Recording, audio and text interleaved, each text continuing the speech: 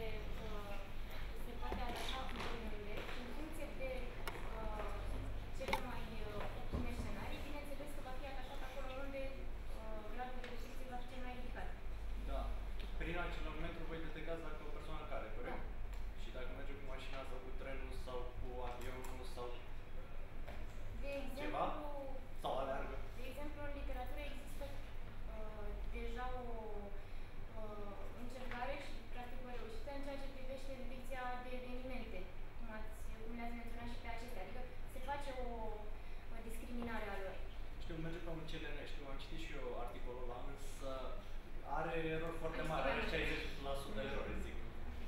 Am ă, topopia. adăugat, noi după cum spuneam, o să folosim în principal în locul de muncă. Adică să fie amplasat strict pe persoana respectivă. Nu am luat încă în calcul și posibilitatea pe care ai menționat-o. Ok, mulțumim. Mulțumim.